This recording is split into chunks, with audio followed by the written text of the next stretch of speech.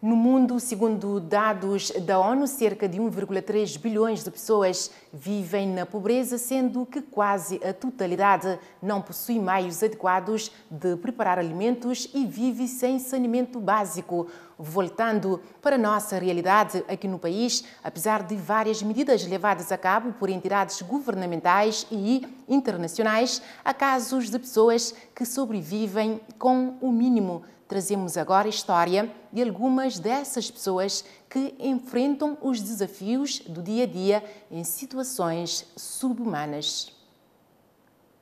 Apesar de as medidas e iniciativas levadas a cabo por entidades governamentais, instituições internacionais e organizações não governamentais preliminar os vestígios da pobreza em Cabo Verde, os dados ainda se demonstram preocupantes. De acordo com o quarto inquérito, as despesas e receitas familiares, a pobreza global em Cabo Verde se situou em 20,2% no segundo trimestre de 2023 e a pobreza extrema em 9,4%. Dados alarmantes revelam que ainda há pessoas que passam na pele diariamente a experiência de estar na miséria. Entre estas estão pessoas que vivem em habitações sem condições, como é o caso desta senhora de 80 anos, de nome Domingas Semedo. A mim tem uma situação que difícil próprio, para morrer. Uma situação se tem um filho, homem, que está ajudando dentro do carro, que está cuidando de nós também, que ele é melhor que me está naquela situação ali. Tem ajuda, a mim não tem ajuda.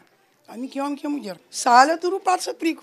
Meus que lugar que não está lá, ali tudo rachar me sem perigo. Ainda a mim, não tem ninguém que está ajudando. E mim que homem que mulher, não tem num quarto para falar assim, não está ficar cama para a pandita. A mim ali que não está aquele um quarto ali. A água que vem lá, está sai, não trula, ali está fica tudo um dentro de casa ali abaixo, a água que está aceita fica tudo tão sumido dentro de casa.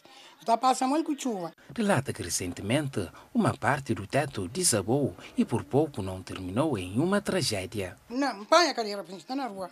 Menino ali também estava ali sentado, o único que ia cair. Ele estava ali quarto. Ele vem sentado ali quarto, mas sempre está sentado assim, para estar de ouvir televisão.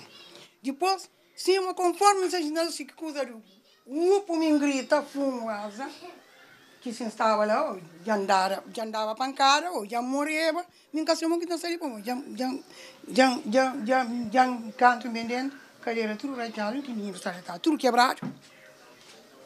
Que ele é doente, ele nada, que está forte, ele está aceitando, ele estava na trindade, e aquele dinheirinho que tem, que será para nada vivendo numa habitação com um número considerável de pessoas, sendo que o único rendimento que tem provém da assistência social dada a ela e ao seu filho doente mental, apela a todos que tiverem possibilidade os ajudem mesmo com pouco.